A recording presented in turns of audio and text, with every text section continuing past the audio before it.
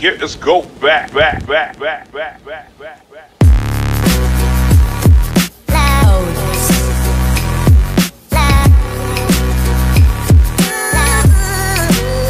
So guys, yun na nga, um, nakita nyo dun sa unang clip na inayos na yung pintura para dito sa kwarto ko. Kasi nakikita nyo naman yung discoloration ng mga pader ko. Medyo, ayan na nga, matagal na kasi talaga tong mga pin, matagal na tong pintura na to. Kaya, nagpipintura kami ngayon. Almost lagpas na ng 5 years, parang ganun. So, ayun, um, gusto ko ipakita sa inyo kasi ang natapos na, yung sa labas, tapos yung kabilang kwarto, yung sa kapatid ko. Huli tong kwarto ko, kaya ipapakita ko muna sa inyo yung mga nagawa na doon. So guys, ito yung mga kalat. Yan. Tapos itong hallway. Yan, ganyan na siya. Pero makalat pa to. Kasi nga, nagpipintura pa proceed tayo sa kwarto ni Kyle, guys. So, yan. Yan sa kwarto ng kapatid ko. Hindi pa tapos tong pader.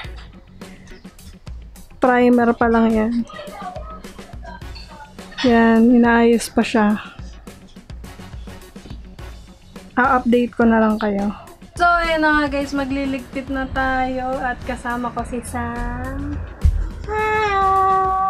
Magliligpit na tayo ng kama at saka ng kwarto dahil nga pipinturahan na siya.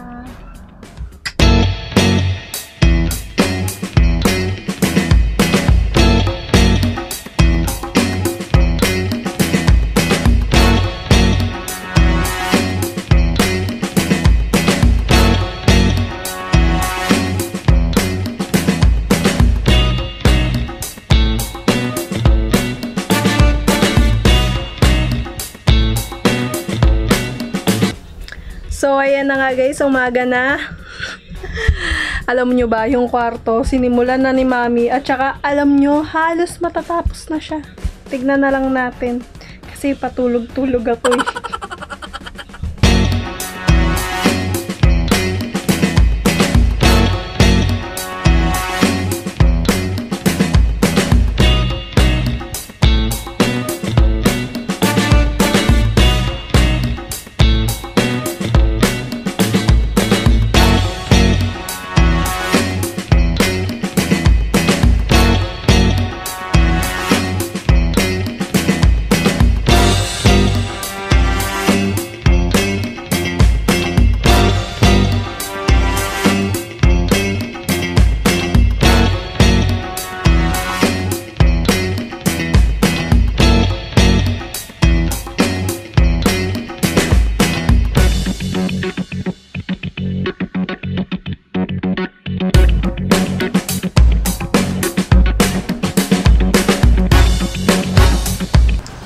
Ayan na nga guys. Ayan yung laman ng kwarto ko.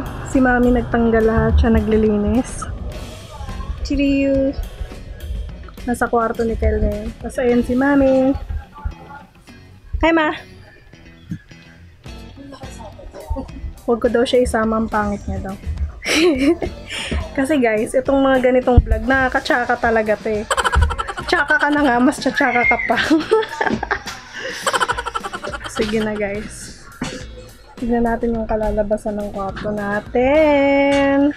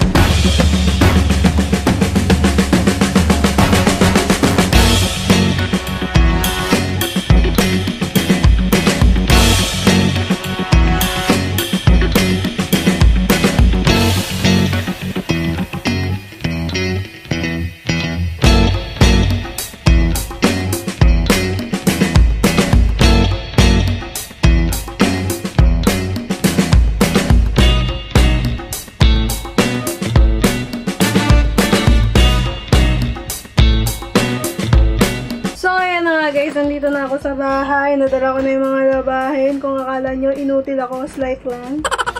Ayusin ko na yung labahin. Kasi isasalang na natin yan. Let's go! So, ayan guys, tutulong tayo magpintura ngayon kasi ah, medyo natapos ko na yung gawain sa bahay. Let's go!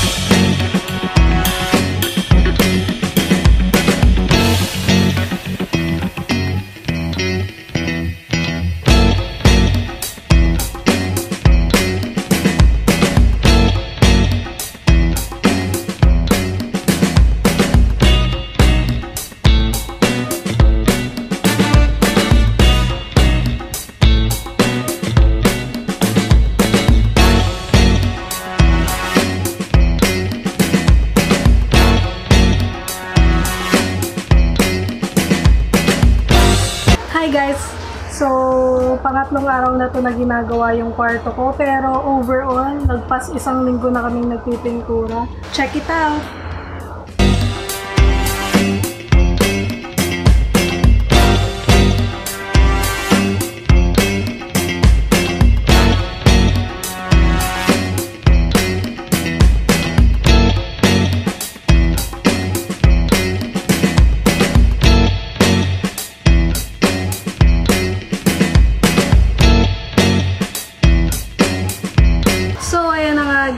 Ito na itsura ng kwarto ko at ipagpapatuloy ko muna siya.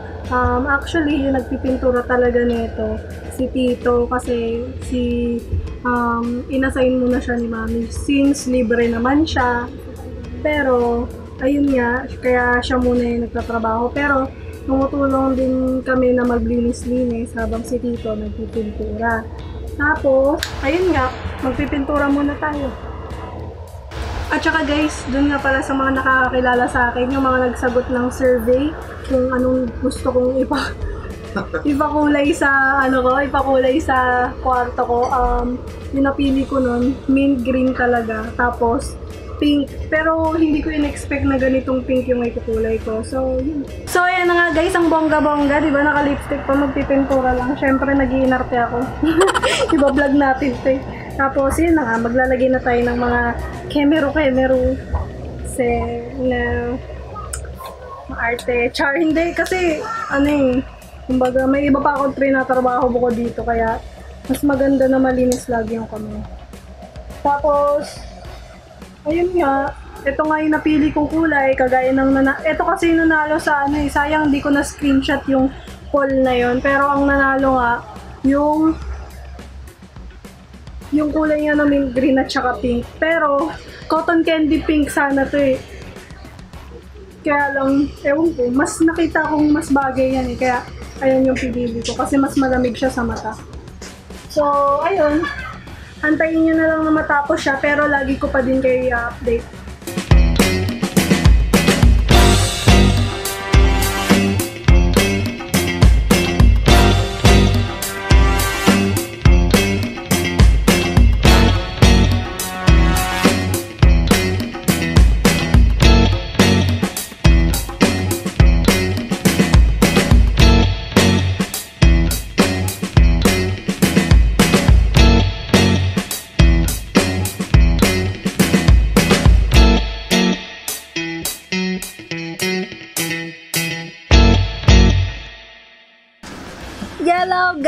Guys! Update!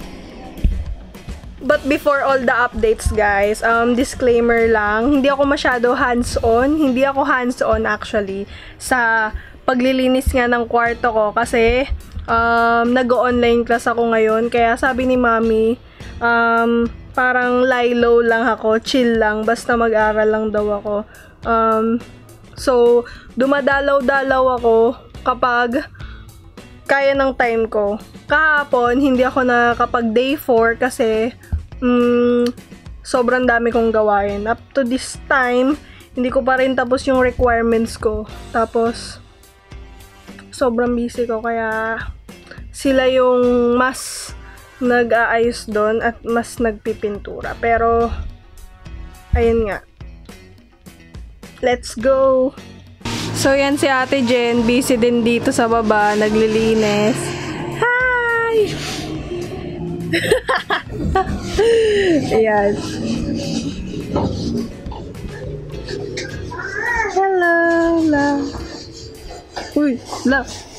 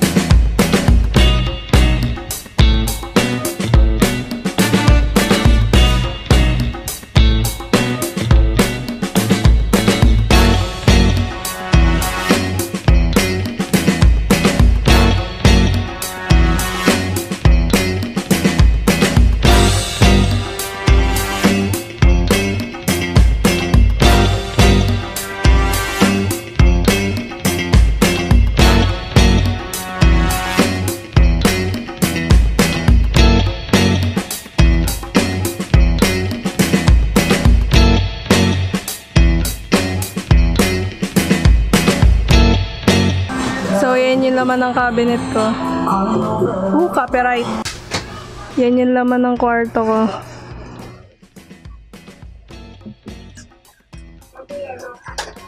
Ma! Ma! Hi, Ma! Siya yung masipag na nag-aayos, you know.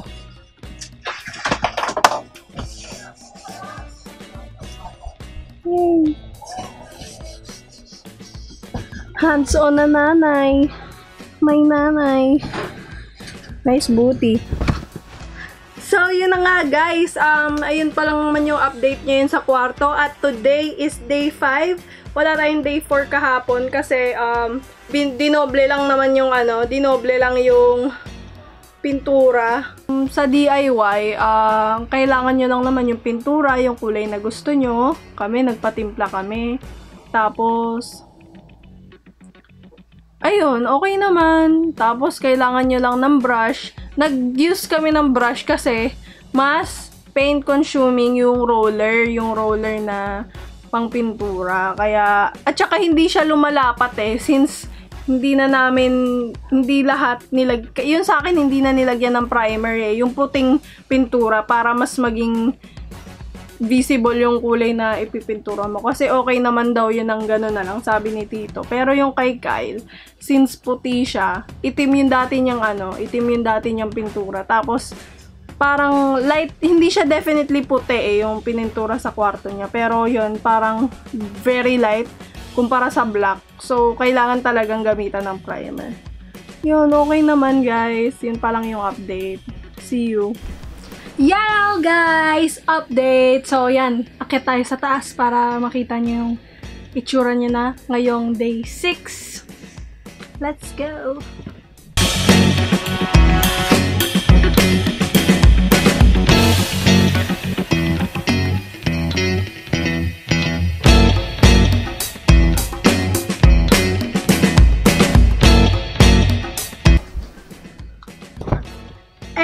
Back! Ayun lang yun sa ngayon guys. Day 6 na nga pala. Buti na lang talaga may mga um, tumutulong sa akin para ma-renovate yung kwarto ko. Siyempre, nanay ko, tatay ko, gastos nila yon Tito ko, pagod niya. Nanay ko, pagod niya. Si Kel din, ah, yung kapatid ko, tumutulong din siya doon. Kasi akong pinakawalang ambag doon, guys. Kasi nga nag-online class ako, guys. Tsaka minsan, um, bukod sa online class ko, hindi naman ako lagi may klase. Pero, sa ngayon kasi, hindi ko pa lahat tapos ng mga requirements ko na kailangan tapusin. Kaya, lagi akong nakatutok sa computer. Nakikita niyo yung mga eyebags na yan. Yan. Buong araw ako nakaupo sa computer. Tinatapos yung mga requirements. Ayun yung ganap ko. Kaya, ini-spoil nila ako na sige lang, tapusin mo lahat ng kailangan mo tapusin. Kami, kami na ba bahala dito. Pero, yun na nga guys, binablog ko na din, blah, binavlog ko na din siya for the sake of updates. Kasi nakaka-satisfy din, di ba? Kapag, kahit ako, kahit hindi ako yung gumagawa nun, nagpintura lang ako ng ilang beses, tapos, tinata, kunyari, tinapos, last time tinapos ko yung isang buong side ng wall eh. Para naman may ambag ako, alam mo yun, iba pa rin kasi kapag part ka ng gumawa eh. Kaya, ayun, ina-update ko lang kayo. At saka, yung development niya, kung nakikita nyo, umpisa, yung noong kulay niya, yung andumi-dumi na ng mga pader, puro agiw, yung iba. Tsaka yung iba nag-stain na yung mga dumi niya, di ba? Tapos ngayon, tapos na siya, malapit na, onti na lang, almost, ibabalik na lang yung ibang gamit. At saka may mga part na lang ng kwarto ko na dodoblehin yung pintura. Pero ayun nga guys malapit na. So, hi guys! Eto na nga, um, bago tayo magsimula sa kwarto ko, gusto ko munang mag-disclaimer na sobrang magulo pa. Kasi bukod sa mga kwarto, binalakin na din nilang mag-renovate ng terrace kasi nga nagkakatulo na. Basta madami ng problema dahil matagal na din naman yung mga tiles doon. At saka, in the making din, ang ating future mini gym. Marami kayong dapat abangan sa vlog ko. Pero sa ngayon, tignan nyo muna yung result ng pagre-repaint ng kwarto ko.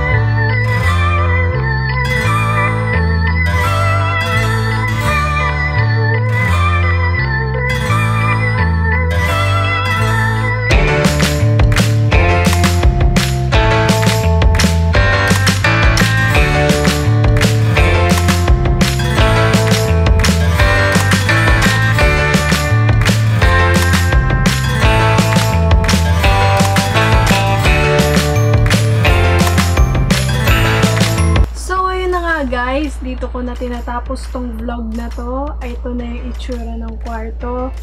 Gustong gusto ko yung kulay niya guys kasi sobrang lamig din sa mata at saka nakaka-relax siya kapag dumadating. Kaya din, ito yung pinili ko kasi medyo hindi mature yung kulay niya. Although gusto ko din sana ng mas classic na color, yung mga neutral. Kaya lang sabi ko, mas gusto ko yung parang feeling ng alive at saka malamig sa mata dahil nga medyo mainit dito sa kwarto kahit may aircon. Tapos, inabot kami ng 11 days para matapos itong kwarto lang na to ah. I think 12 days nga eh. Kasi yung mga gamit ibinalik pa. Tapos, ayun, gusto ko din magpasalamat sa parents ko. Sila yung pinaka nagpondo, syempre, para mapinturahan tong kwartong to. Tapos, nagpapasalamat din ako sa kay, lalo na kay mami tsaka kay Kyle sa kapatid ko kasi sila talaga yung mas naging hands-on, nasabi ko naman yun. Kasi nag-online class nga ako tsaka sobrang busy ko. Tapos, um, kaya hinayaan nila akong unahin muna yung dapat kong unahin at sila yung talagang nag ayos nito, pati yung tito ko. Yan, sila yung mga naggawa ng kwarto. Pati nung lahat-lahat dito. Pero, blinag ko lang siya not to take the credits. Pero, para makita niya lang. Kasi, fascinating nga naman kapag nag re-decorate or nagre-repaint tayo ng mga kwarto, di ba? Tapos, ayun guys, kung makikita nyo, parang ang dami pa rin gamit, tas ganun pa rin siya. Siguro magkakaroon pa siya ng unti-unting improvements, kagaya ng cortina. Gusto ko sana ng bagong cortina, tsaka mga bed sheets. Tapos, kung nakita nyo yung dalawang kahon na malaki dito sa kwarto ko, basta nandyan siya. Kasi nagne-negosyo din ako, kaya late ko na na, ano, na ayos yung vlog na to. Pero salamat kasi nanonood ka ngayon. Thank you sa pagsuporta mo. Yun na nga guys, ito na yung tsura ng kwarto. Sana kayo ma-inspire din kayo mag-repaint ng kwarto nyo. Abangan nyo yung mga susunod kong vlogs at pasensya na ulit guys kung matagalan yung sumunod. Ito. Thanks guys for watching. Um, like, share, and subscribe. Hit the notification bell. Bye guys!